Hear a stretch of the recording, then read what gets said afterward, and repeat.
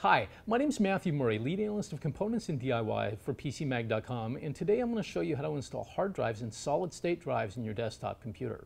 There are a few different ways to do this depending on what kind of case you have, and we're going to go through all of them. The first thing to do is remove the side panel of your case, as we've already done here. That will give you access to the inside of your computer where you can install the drives. Most cases on the market today use a tool-free mechanism to keep the drives in place.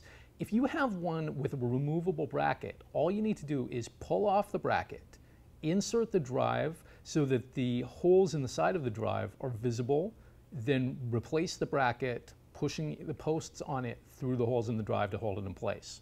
That's all, and you're done. So we've shown you how to install a three and a half inch hard drive in your desktop computer case, but what if you have a two and a half inch hard drive or a solid state drive like this one here? You can do that too, but the situation is a little bit different. In this particular case, you're going to install the drive in the floor of the case by screwing it in from the bottom. So some cases like this one have removable hard drive trays or caddies that make it even easier to install three and a half inch drives in your case. To use them, just remove the tray. In this case, you're going to squeeze the sides and pull it out. Then put the drive into the tray with the ports facing the back and replace the tray like so. And that's all there is to it. If you want to use one of the drive trays for two and a half inch drives, you can do that too. The difference here is that it's too big to actually hold the drive by itself, so you need to screw it into place.